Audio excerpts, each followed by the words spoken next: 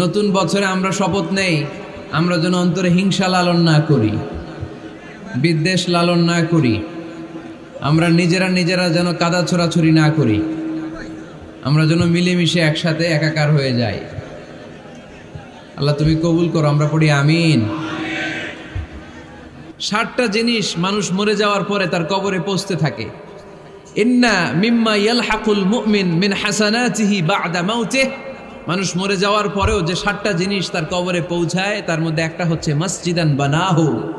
সে যে মসজিদ বানিয়ে গিয়েছে, ওই মসজিদের সওয়াব। সুবহানাল্লাহ পড়ে আপনি টাকা দিয়ে মসজিদ বানিয়ে দিলেন, ওই মসজিদে মুসল্লিরা নামাজ পড়ে, রোজাদাররা এসে ওখানে ইফতার খায় তাহাজুদ আদায়কারীরা তাহাজুদ পড়ে, তাদের সওয়াবের কমতি হবে না, কিন্তু তাদের সওয়াবের একটা পার্সেন্টেজ সওয়াব যে ব্যক্তি মসজিদ বানালো, তার আমল নামে আল্লাহ ঢুকিয়ে দেয়।